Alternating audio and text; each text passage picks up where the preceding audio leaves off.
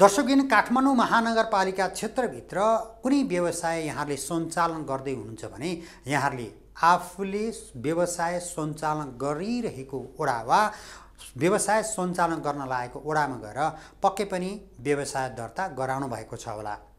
यदि यहाँहरूले व्यवसाय दर्ता गर्नुभएको छैन भने पनि काठमाडौँ महानगरपालिकाको सम्बन्धित ओडामा गएर व्यवसाय दर्ता गराउन हामी अनुरोध गर्दछौँ। काठमाडौँ महानगरपालिकाका बत्तिसवटै ओडामा व्यवसाय दर्ता गर्ने नवीकरण गर्ने र सोही अनुरूप राजस्व लिने काम पनि ओडाले गर्दै आइरहेको छ।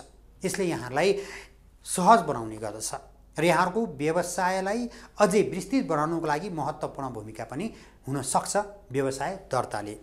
काठमाडौँ महानगरपालिका वडा नम्बर उनातिसमा व्यवसायको अवस्था कस्तो छ? कसरी काम भइरहेको छ? व्यवसायहरूले तिर्नुपर्ने व्यवसाय कर तिराउनु भएको छ कि छैन अथवा गर्नुपर्ने काम नवीकरण दर्ता गर्नुभएको छ छैन यसै विषयमा तयार पारेको रिपोर्ट अबको पालोमा।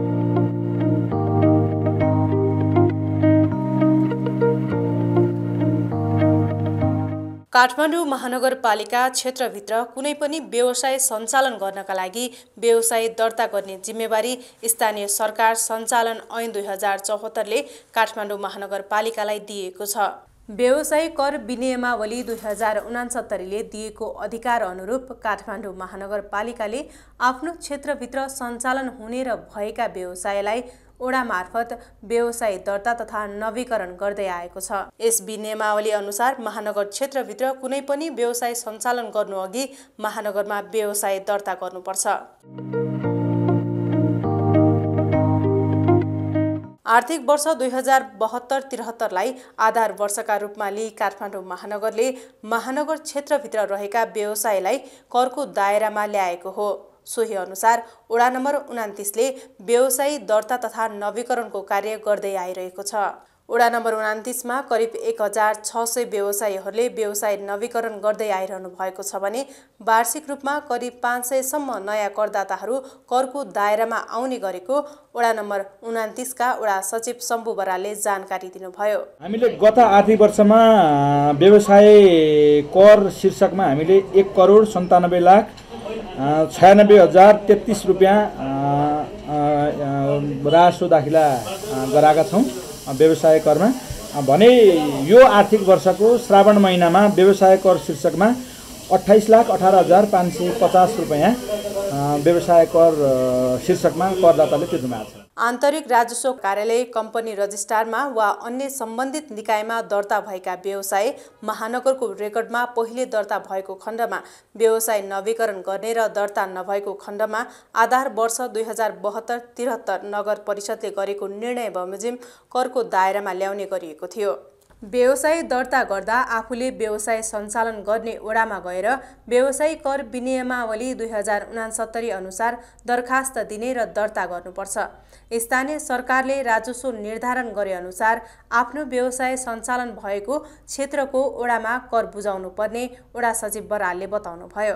अब हामीले स्थानीय तह सरकारले राजस्व व्यवस्थापन निर्धारण गरे अनुसारको हामीले यहीँ तिर्नुपर्ने हुन्छ। त्यो चाहिँ अन्यत्र निकायको चाहिँ के छ प्रावधान? त्यो अनुसार हुन्छ। हामीले हाम्रो स्थानीय ऐन कानुन अनुसार हामी गाइडेड छौँ। स्थानीय ऐन कानुन अनुसार निर्धारण गरेको कर स्थानीय तहमा तिर्नुपर्छ। अन्यत्र निकायमा तिर्नुपर्ने सम्बन्ध सम्बन्धमा तत्त निकायमा भएको कानुनी व्यवस्था अनुसार निर्धारण हुने हो। महानगरले करदाताको सहजताका लागि अनलाइन प्रणाली माध्यमबाट कर तिर्ने व्यवस्था गरेको छ। साथै करदाताले सोझै ओडा कार्यालयमा गएर पनि कर बुझाउन सक्नेछन्। यस्तै काठमाडौँ महानगरपालिका ओडा नम्बर उनातिसका ओडा अध्यक्ष कुश केही प्रतिशत व्यवसायीहरू करको दायरामा आएको बताउनु हुँदै अझै अधिकांशले कर छरेको गुनासो गर्नुभयो। धेरै धेरै यदि मान्छे चाहिँ अलिकति व्यवसाय दर्ता गर्नुपर्छ भने आउनु त तर समस्या के हो भने अब काठमाडौँ महानगरपालिका मेरो वडामा मात्रै समस्या होइन। सबैले छलेका छन् कुनै पनि घरको स्क्वायर फिट मिल्दैन। बाल कर सबै त कसैले गर्न चाहँदै चाहँदैन। सबै कर छल्न चाहन्छन्। करदातालाई करको दायरामा ल्याउन उनीहरूलाई शिक्षा स्वास्थ्य र न्यायमा सुरक्षा दिनुपर्ने अध्यक्ष ढकालको धारणा छ। व्यवसाय यस्तो नि अब अहिलेसम्म त अब हाम्रो नेपालको परम्परामा व्यवसाय दत्ता गर्नुपर्छ भन्ने मान्यतै छैन। अब अहिले आएर ब्याङ्क लोनहरू दिने भएपछि अब दत्ता गर्नुपर्छ भन्ने मान्यता आयो। तर अब त्यो मैले भने यो राज्यसँग जनतालाई एफिलेट गराउनको लागि जनतालाई के आश्वस्त दिन सक्नु पऱ्यो हामीले भने तपाईँको तिरेको कर चाहिँ सदुपयोग भएको छ है भन्ने कुरो हुनु पऱ्यो स्थानीय सरकार सञ्चालन ऐन दुई हजार चौहत्तरको दफा अन्ठाउन्न अनुसार गाउँपालिका तथा नगरपालिकाले आफ्नो क्षेत्रभित्र व्यापार व्यवसाय वा सेवामा पुँजीगत लगानी र आर्थिक कारोबारको आधारमा व्यवसाय कर लगाउँदै आएको छ।